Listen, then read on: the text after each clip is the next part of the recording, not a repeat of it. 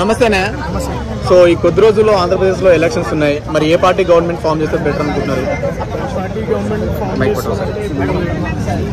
TDP TDP Janasena అంటే వైసీపీని ఎందుకు వద్దనుకుంటున్నారు?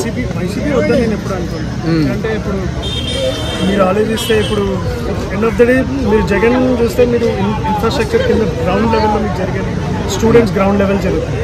సో మీరు ఎప్పుడైనా మీరు అబ్జర్వ్ మీరు చూడండి. సో స్టూడెంట్ స్టాఫ్ చూడండి కానీ స్టూడెంట్స్ ఎడ్యుకేషన్ కానీ సో మెయిన్ వైఎస్ఆర్సీపీ నాకు education plus hospitality so education health main మనకి. తర్వాత ఇమీడియట్గా ఫ్యూచర్లో వెల్త్ జనరేట్ అవుతుందా లేదా అనేది నాకు తెలియదు స్కూల్స్ మరి స్కూల్స్లో ఐబీ కరికులం తీసుకొస్తాను అంటున్నారు కదా. సో అది ఇప్పుడున్న జనరేషన్కి ఉపయోగపడుతుంది అంటారా ఖచ్చితంగా? ఖచ్చితంగా ఉపయోగపడుతుంది. కరికులం అనేది చాలా ఉపయోగపడుతుంది. హై స్టాండర్డ్స్ మీరు హై స్టాండర్డ్స్ ప్లస్ అందులో సిబిఎస్ఈ కానీ ఐబిఎస్సి మీరు సిలబసెస్ తీసుకుని ఉంటే. సో ఇప్పుడే మీరు ఇన్ఫ్రాస్ట్రక్చర్ ఎందుకు డెవలప్ అవుతుంది అని అంటే ఇప్పుడు వాళ్ళు చిన్నప్పటి నుంచి మనం ఇప్పుడు ఇక్కడ హైదరాబాద్లో మీరు. ఆ. ఇక్కడ multi language letter three languages మాట్లాడగలరు. Hindi మాట్లాడగలరు తెలుగు మాట్లాడగలరు ఇంగ్లీష్ మాట్లాడగలరు.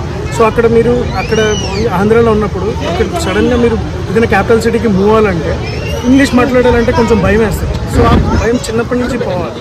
సో అది పోయి మీకు కంప్లీట్గా మీరు నేటివ్ లాంగ్వేజ్కి మీరు తీసుకుని మాట్లాడితే మీకు ఈజీగా జాబ్స్ అనేది ఈజీగా.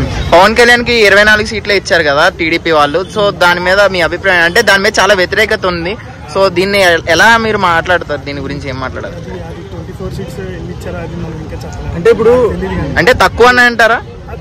తక్కువ ఎక్కువ ఇప్పుడు కంబైన్ కాబట్టి వాళ్ళ పార్టీ మధ్యలో వాళ్ళ ఓట్ షేరింగ్ బట్టి డిపెండ్ అయి ఉంటుంది. మ్మ్. ఇప్పుడు ఫర్ సపోజ్ ఇప్పుడు మీకు ఐడియా ఉండి ఉంటుంది. మన ఇండియాలో మన ఆంధ్రాలో అది కూడా క్యాష్ బేస్ ఓటింగ్ మీద ఉంటుంది. సో ఒక్కొక్క సీట్కి ఎలా ఉంటుంది అనేది మనం చెప్పలేం సో వాళ్ళు వాళ్ళు డిపెండ్ అయిన క్యాండిడేట్స్ ట్వంటీ ఫోర్ క్యాండిడేట్స్ వీళ్ళు డ్యామ్ షూర్ అనుకుంటారు కాబట్టి వాళ్ళు. వాళ్ళు ఫార్టీ సీట్స్ డ్యామ్ షూర్ అనుకుంటే వాళ్ళు ఫార్టీ సీట్స్ దిగుతారు సో వాళ్ళు ఓటింగ్ షేర్ ఎక్కడెక్కడ ఎక్కడ ఉందో చూసుకుంటారు. ఇప్పుడు కోస్తాకి ఎక్కువ ఉందా లేకపోతే ఈస్ట్ గోదావరి సైడ్ నుంచి వైజాగ్ ఎక్కడ ఉందా శ్రీకాకుళం ఎక్కువ ఉందా ఎక్కడ ఓటింగ్ షేర్ ఎక్కువ ఉంటుంది అని అనుకుంటారో వాళ్ళు ఎక్కువ ఓట్స్ ఎక్కడికి వెళ్దాం అనుకుంటారో అక్కడ తీసుకుంటారు. ఓటింగ్ షేర్ని బట్టి. చంద్రబాబు నాయుడుకి అదేవిధంగా జగన్మోహన్ రెడ్డికి మధ్య తేడా అంటే ఏం చెప్తారు? చంద్రబాబు నాయుడు జగన్ చంద్రబాబు నాయుడు ఈజ్ అంటే ఒక అంటే ఒక విజన్ ఉంటుంది but it take some time twenty twenty ఇప్పుడు మీరు సెంటర్లో ఫర్ సపోజ్ ఏదైనా ముందుగా స్కీమ్ వస్తుంది అంటే మన మన ఆంధ్రాకే ఫస్ట్ రావాలని అనుకుంటారు చంద్రబాబు నాయుడు. దట్స్ కూడా థాట్ ఇప్పుడు మరి మీరు అదే చంద్ర- జగన్మోహన్ రెడ్డిని తీసుకుని ఉంటే సో గ్రౌండ్ లెవెల్ నుంచి ప్రతి విద్యార్థికి ఒక ఎడ్యుకేషన్ ఉండాలి అని అనుకుంటాడు సో ప్రతి విద్యార్థి తన సొంత కాళ్ళ తను నిలబడాలి. ఎలాగోలాగా మనం ఏదో ఒకటి గవర్నమెంట్ ఫామ్ చేయాలి. బట్ లేదర్ మనకి ఫండ్స్ తక్కువ ఉన్నాయి. మనం ఇంకా క్యాపిటల్ బడ్జెట్లో ఇంకా డెఫిషియట్గానే ఉన్నాం.